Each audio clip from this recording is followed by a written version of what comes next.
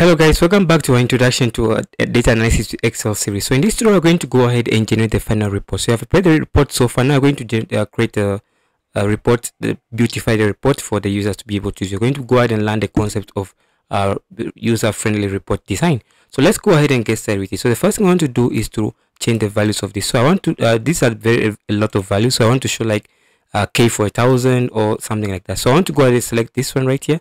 I can go ahead and select, let me just start with this one uh, so I can just go in there and then select this one right right click after left clicking and then click on value uh, value field settings and then go on number format go on custom and then in here we're going to go we're going to change general to custom. So we're going to start with uh, let's say 0 0.0 comma k. So this is going to make it a thousand add k in front of it. Okay so if you press ok and then press ok right here so you can see we have this value generated in form of a thousand. So i want to add maybe a dollar sign in front of this to, to indicate that it's a dollar. So i'm going to go ahead and right le left click again click on value uh value field settings go in custom and then in here i'm just going to go ahead in here and just press uh, the dollar sign and then space and then add the numbers right there. So this is 0 0.0 uh comma and then k okay and then press enter so they press enter again. So you can now you see have the dollar sign in front of it. So let's do the same for this one as well. So click on this.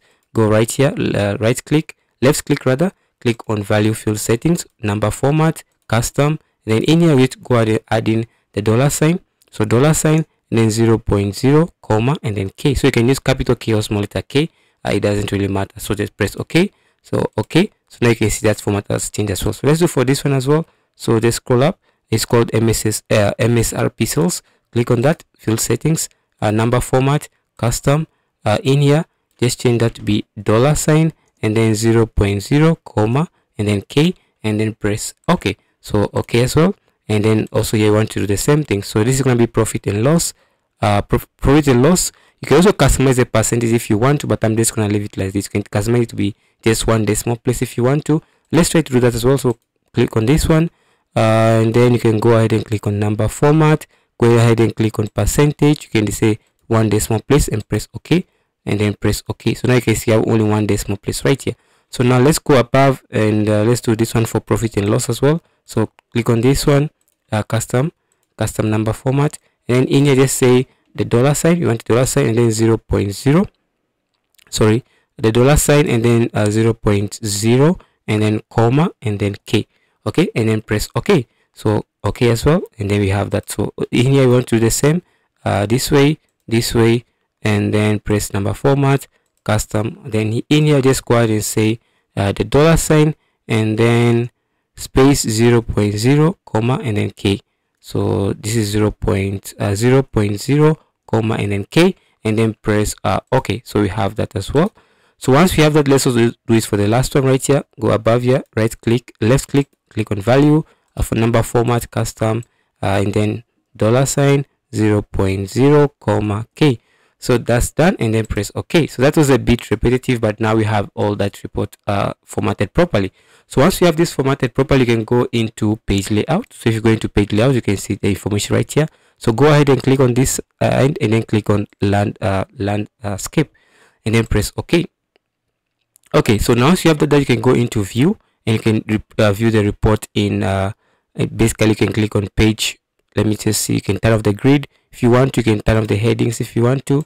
I'm just gonna leave it that and i'm going to say page layout. Click on page layout. So you're going to see it and how it look like in a page in case you decide to print it. So this is how you're going to look out look like in a page and decide to print it. So i don't like the formatting of this. So i want to go ahead and change the formatting of this uh, cell a bit uh the font rather. So i'm going to go ahead and go into pivot table go onto uh, action section go and select go on uh, entire pivot table. And I want to change the home. I'm going to go home and then finally I want to change the font so once I have this font I have here called code uh code code here and then it's called u yeah code here u upc so I have this format already uh, in my head so I'm going to use that formula right there. So once I have that formula implemented what I want to go ahead and do is uh, I can go ahead and then just say I can just go ahead and just change this one a bit i can say name of customer. I can say customer name. So i want to change that to be customer uh, name just like that. And then uh, i can have that there. So good. So this is this is basically our report. So i want to add some uh, some formatting to this. So for less loss and uh, profit and loss account uh, for the sorry profit and loss column i want to add some conditional formatting. So go i can go in here and just say uh, let me just say the data scale uh, color you can add different things to it right here. So let me just go ahead and say uh, let me just say add new row so i can add new row and i can just say uh, select all, all columns. So just select the last option right which have all cells showing profit and loss value for customer name. So once i have it i want to go ahead and change the coloring a bit. I want it to be blue okay? This uh, i can change the comma i can go into more colors and then uh, tune that as much as i want okay? So i want to blue like this here. So far that's fine. So i'm going to press ok and then in here i'm going to go ahead and select put in the low value. So this is going to be percentage and i'm going to put in the lowest value. So this is actually this actually going to be a number. So i'm just going to say a number just like that. And then just press ok. So you can see I have that formatting right there. So you can see that formatting right that's how you can apply formatting to it. Let's say that you also want to apply some formatting to this cell so you can go to conditional formatting. Uh, there are different formatting that you can apply. Let's say want a new row so let's say color scale um can go ahead and select this one let's see. Yeah but now you have to apply this to all. So let's click on this one go to conditional formatting go to manage rules and then select this one right here and then say edit rule. Now you can go here and edit the rule okay? So you can change the color between the the different scales so i'm going to have this and i'm going to apply this to all uh, columns showing profit and loss for customer name and then press that option and then press ok and then press ok. So we have that option highlighted for all that column. So there's a different ways you can do formatting and there are different formattings you can do. So let's go ahead and try to apply one more formatting right here for the sales profit uh, msrp profit. You can just go ahead uh, formatting and then go ahead and say data bar and you can select this data bar right here and just add that. So just go ahead and select it again select this cell right here and then go into uh, manage rule and then select this one right here edit rule and then select make sure you have this option selected. You can press ok and then ok. So you can have that formatting place here as well. So you can have that formatting here so you can change the color if you uh, desire to. So that's basically how you can press, uh, make a report and uh, format the report in a good way. So once we have all that done you can go ahead actually customize the columns if you want to but i'm just going to leave everything as it is because it all fits on an a4 paper. So you can see it's an a4 paper and all fits properly and if you go up you can see you have a header. So you can give the uh, data uh, column uh, the header uh, header title if you want. So i'm going to call this one uh, customer customer performance uh, report just like that. And i can go ahead and go into home and then make sure i can change the format. Let me just change it to 28 uh, that's that's a bit big but it's fine. And i can go in here and in here you can go ahead and add an image. But first of all I want to reduce this is too big so I want to put this around 22 yeah? And then I want to go ahead and add in an image as well. So to select an image I just click on this one and then go into headers and footer and then go into pictures and then select uh, from this uh, computer or from this file and then select insert and that's going to go ahead and insert the image right here.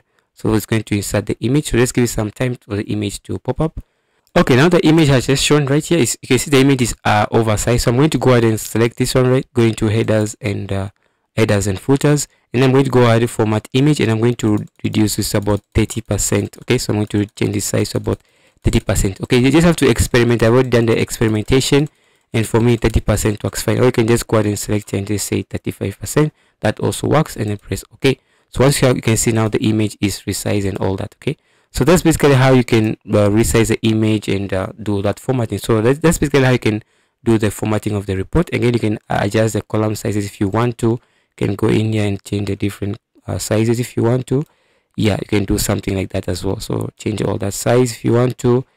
And yeah that's basically it how you can generate the report. You can just customize these cells to make sure uh, they are best fit for your report. So once you have that done uh, you can decide to go and export this to a given file. Yeah uh, to sorry a, a PDF file or any file format that you want uh, the, the you want the report. Also in here, I'm going to go, uh, go ahead and add in here a filter. I'm going to call, I'm going to say filter, filter, uh, in form of text, basically like that. So I'm going to say filter. That's basically it. So once I have that implemented there, I'm going to go ahead and uh, this all these filters will still work as well. So I'm going to go ahead and say file, and you can go ahead and say uh, print, and you can go ahead and see how it's going to look like whenever you print it out. So you can just go ahead and say print, and then say hit on print, and that's going to go ahead and you can put it on your desktop. You can just say uh, tutorials. Tutorial let me just call tutorial uh, report okay? So you can call it anything you want and just press enter. That's going to generate that file for you. So if i go in here and go on my desktop i can just click on it and you can see the tutorials report right here uh, generated properly well formatted right? So guys that's basically how you can generate a report add different images format the report properly and all that so that's all uh that's all for this series. Actually this is the last video in the series. We just did the uh, user-friendly report generation where we're able to generate the reports uh, that's uh, friendly. So if you're if you're working in a business or a company and anyone requests for this report you can go ahead and send the report to them just like that. So that's all for this video guys. Again if you enjoyed the video make sure that you like the video you subscribe to the youtube channel and you share this content with anyone who you think might find it helpful. Thank guys. Thank you guys for watching and see you the next one. Keep safe